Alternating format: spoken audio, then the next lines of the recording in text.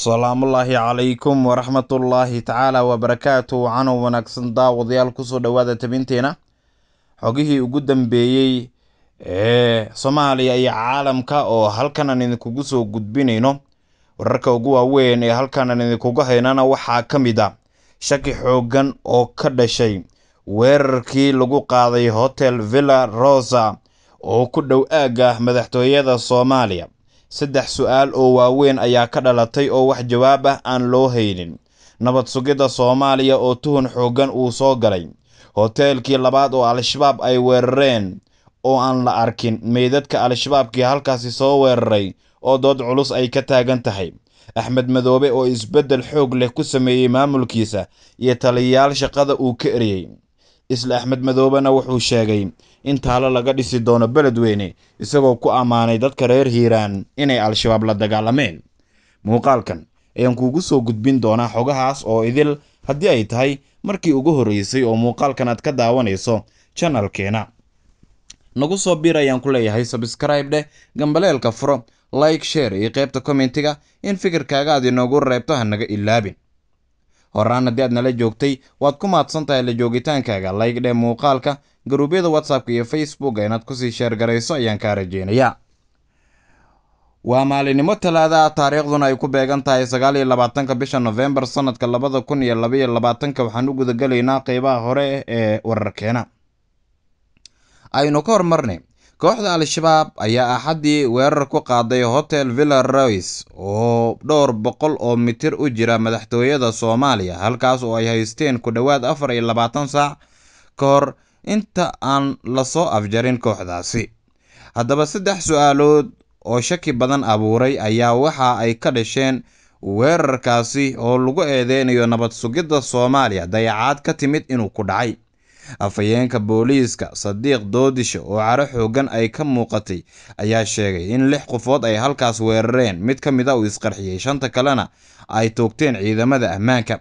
Afhayeenka ayaa sheegay in khasaaraha weerarka uu yahay dhimashada siddeed qof oo shacaba iyo hal askari oo ciidamada halkaasi uga shahiiday.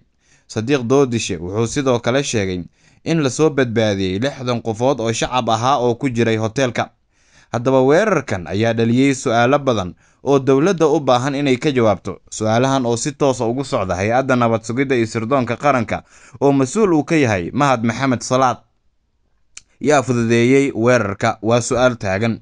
Hotel villa rays waxa uu ku yaalaa meel aada ugu dhow villa soomaaliya oo amnigeeda aada loo sugo.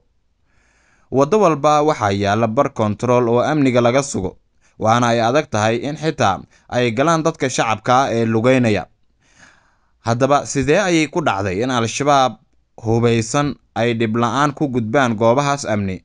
Weliba iyaga oo hubaysan.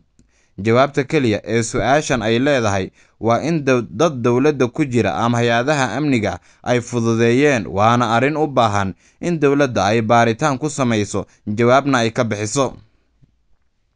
Haddii aanay sidaasi dhicin hala yaabin in weerarkan xiga uu noqdo mid madaxtooyada lagu qaado ama guriga madaxweynaha kan ra'iisul wasaaraha iyo kan guddoonka baarlamaanka midkood.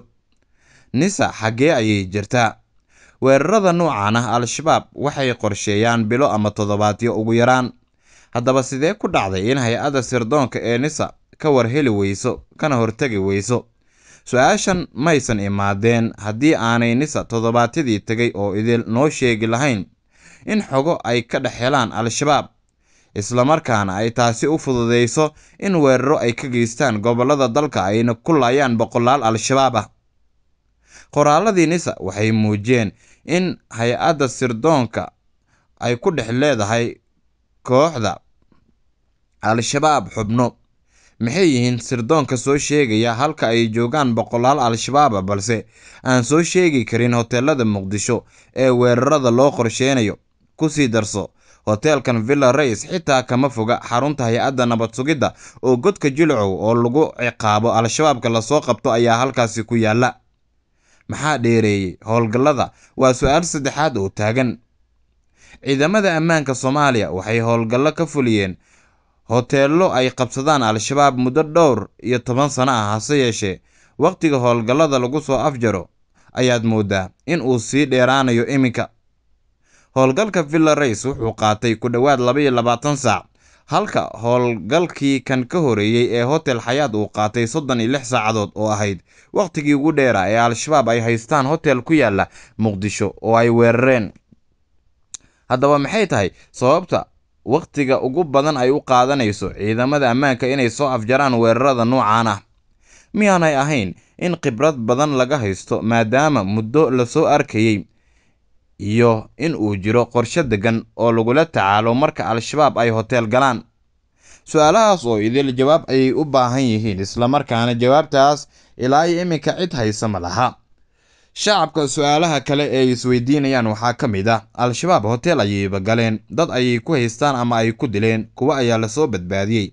Maxaa sababi kara in la burburiyo hantida hotelkaasi tusaale ahaan hotelkii xayaad miinooyin ayaa lagu xiray oo waxaa la burburiyey gebi ahaantiisaba. Sidaasi la mid ah hotelkan villa rosa sidaa oo kale miinooyin ayaa afarta koono looga xiray sida wararku ay tilmaamayaan taasna waxay soo afjartay al-shabaabkii halkaasi ku jiray. Iyadoo loo arko in laga baaqsan karo in la burburiyo guud ahaanba hantida taalla hotelka waxaana taasi loo arkaa inay tahay mid kale oo xaaladda sii adkayn karta mahad maxamed salaad taliyaha nabad sugidda iyo sirdoonka qaranka. Dad badan oo amniga darsa waxay aaminsan yihiin in dadaal dheeraada uu sameeyey al-shabaabna uu kabahooda la gashtay. Islamarkaana tan iyo markii xafiiska uu yimid al-shabaab badan uu laayay. Laakiin dad badan oo dhaliilsan waxay aaminsan yihiin tan iyo markii mahad salaad loo magacaabay. Xilka taliska nisa in al-shabaab ay ku sii dhiiradeen weerarada inay sii xoojiyaan in dhaqaalo fara badan ay ka qaadaan shacabka iyo in al-shabaab xukunkooda ay isku dayaan inayba ku soo dhoweeyaan madaxtooyada soomaaliya iyadoo toddobaadyo ka hor la soo wariyey in meel u dhow madaxtooyada soomaaliya canshuur looga qaado dad ganacsato ah. Madaxweynaha jubbaland axmed maxamed islaam axmed madoobe ayaa sameeyey isbeddel xoogan isagoo shaqada ka eriyey saraakiil badan. Madaxweynaha jubbaland axmed maxamed islaam axmed madoobe ayaa isbeddel ku sameeyey maamulka gobolka jubbada hoose iyo saraakiisha hogaaminaysa ciidamada booliiska iyo kuwa daraawiishta saddex dikreeto ayaa xalay ka soo baxday xafiiska madaxweyne axmed madoobe wuxuuna ugu horeyn xasan cabdi guure u magacaabay guddoomiyaha gobolka jubbada hoose halka ku-xigeenkiisa uu u magacaabay muuse maxamed sheekh. Sidoo kale madaxweynaha jubbaland ayaa dikreetada labaad ku magacaabay saraakiil cusub oo la wareegaysa hogaaminta taliska ciidamada booliiska. ah ee ka howlgala deegaanada jubbaland. Sareeye guuto cabdulaahi cabdi yuusuf ayaa loo magacaabay taliyaha booliiska jubbaland halka ku-xigeenkiisa loo magacaabay gaashaanla sare xuseen cali xaashi sida ku cad dikreetada ugu dambeyntii madaxweynaha jubbaland ayaa sareeye guuto ismaaciil saxadiid keydsane u magacaabay taliyaha ciidamada daraawiishta jubbaland magacaabidan ayaa ku soo aaday iyadoo shalay madaxweynaha jubbaland uu duleedka kismaayo kula hadlay ciidan xoog leh oo loo diyaariyey inay al-shabaab ka xoreeyaan. Deegaanada jubbaland oo ay ku xoogan yihiin.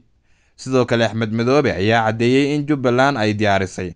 Qorshe dhammaystiran oo deegaanada lagu xoreeyo al-shabaab lagu gaarsiinayo adeegyada dawliga ah ee dadku ay baahida badan u qabaan dhinaca kale axmed madoobe ayaa sheegay in taalo laga dhisi doono magaalada beledweyne isagoo ku ammaanay dadka reer hiiraan inay la dagaalameen ururka al-shabaab. Axmed madoobe oo boqolaal ciidana kula hadlayey duleedka magaalada kismaayo ayaa si qoto dheer uga hadlay dagaalka loo qorsheynayo in jubbaland looga xoreeyo ururka al-shabaab.